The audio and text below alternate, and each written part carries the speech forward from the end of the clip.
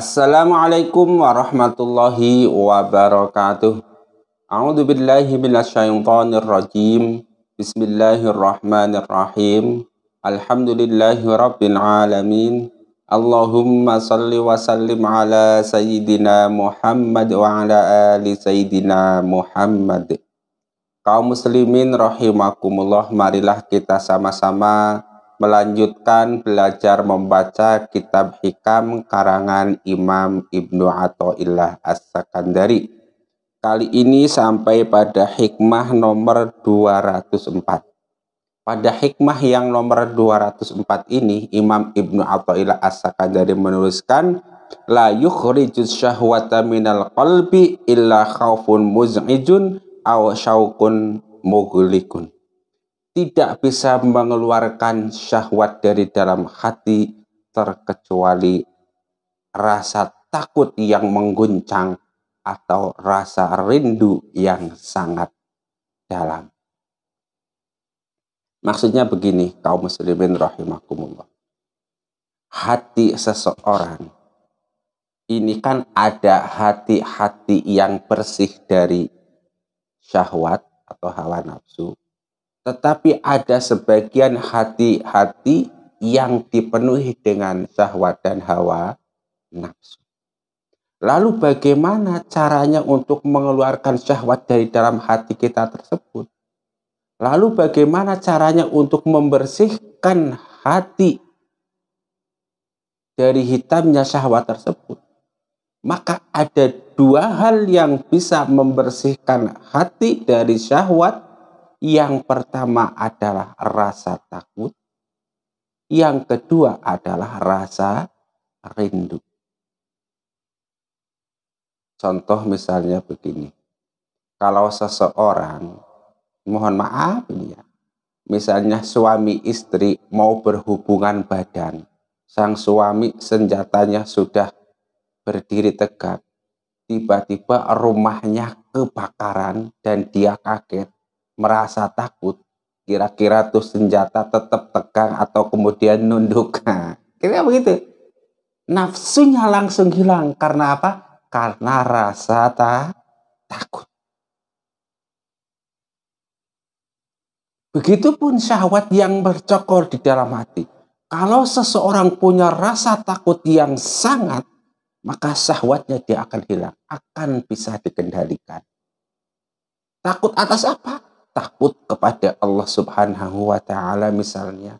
Takut kepada apa? Takut mati misalnya. Maka dalam satu dalil dikatakan salah satu contoh orang yang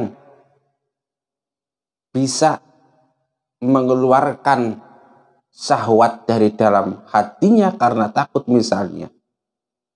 Ada seseorang diajak berzina oleh orang seorang perempuan yang cantik, kaya, punya pangkat misalnya. Tiba-tiba nih pemuda itu menolak ajakan tersebut karena apa? Karena merasa takut kepada Allah Subhanahu wa taala. Itu jos. Contoh yang masyhur adalah ketika Nabi Yusuf digoda oleh Siti Zulaikha ketika Nabi Yusuf digoda oleh perempuan-perempuan penggoda kan. Contoh lainnya seperti masyhur dalam dalil dikatakan seorang pemuda yang diajak berzina oleh wanita cantik kemudian dia mengatakan ini akhafullah.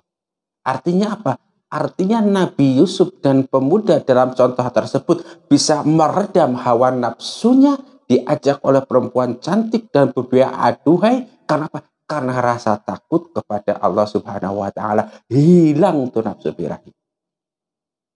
Itu satu yang bisa menghilangkan hawa nafsu dari dalam hati adalah rasa takut. Atau yang kedua, yang bisa mengeluarkan hawa nafsu dari dalam hati kita adalah rasa cinta kepada Allah Subhanahu wa taala, rasa rindu kepada Allah Subhanahu wa taala. Karena hati kita rindu kepada Allah Subhanahu wa taala, maka kita pun akan menjauhi segala macam larangan Allah Subhanahu wa taala supaya apa? Supaya kita bisa bertemu dengan Allah Subhanahu wa taala. Karena kita tahu hati yang rindu